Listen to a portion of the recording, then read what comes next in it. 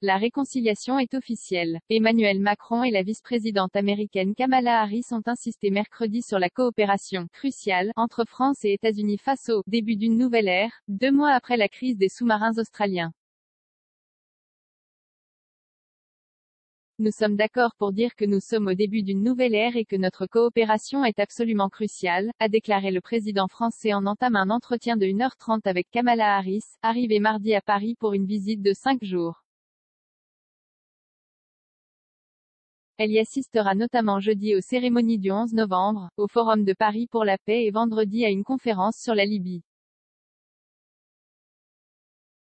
Nouvelle étape de la réconciliation Sa visite doit permettre de parachever la réconciliation entre les deux pays amorcée par la rencontre entre Emmanuel Macron et Joe Biden en marge du G20 de Rome le 29 octobre. Nous avons une rencontre fructueuse à Rome il y a quelques jours avec le président Biden qui a montré la voie pour les semaines, mois et années à venir, a ajouté Emmanuel Macron, au début de cet entretien mené notamment en présence du ministre des Affaires étrangères Jean-Yves Le Drian et de la ministre déléguée à l'égalité femmes-hommes Elisabeth Moreno. Les Français sont très fiers de vous avoir, ici, a-t-il dit au début d'une nouvelle ère, je pense, et nous partageons cette vision, que nous sommes au début d'une nouvelle ère riche en défis mais aussi en opportunités, lui a répondu la vice-présidente américaine.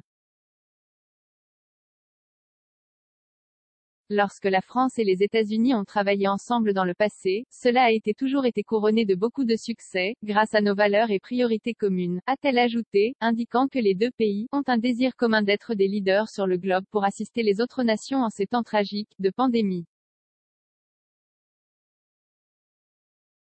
En bâtissant sur votre discussion importante avec le président Biden, je me réjouis que nous allons, dans les jours à venir, continuer à travailler de concert, et renouveler l'attention donnée à notre partenariat. Ils devaient ensemble discuter sécurité, pandémie, climat et espace, notamment. Depuis son arrivée mardi, Madame Harris a notamment visité l'Institut Pasteur où elle a rencontré des chercheurs américains et français travaillant sur le Covid-19.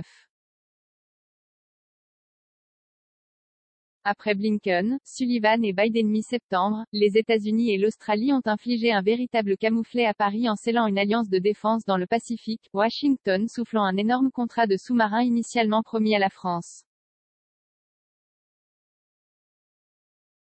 Avant Kamala Harris, le secrétaire d'État américain Anthony Blinken puis le conseiller de la Maison-Blanche pour la sécurité nationale Jake Sullivan s'étaient succédés à Paris pour apaiser la colère de la France, avant la rencontre Biden-Macron à Rome il y a dix jours. 35 commentaires 0 partage partagé sur Messenger partagé sur Facebook partagé sur Twitter partagé sur Flipboard partagé sur Pinterest partagé sur LinkedIn envoyé par mail sauvegarder une faute? Imprimé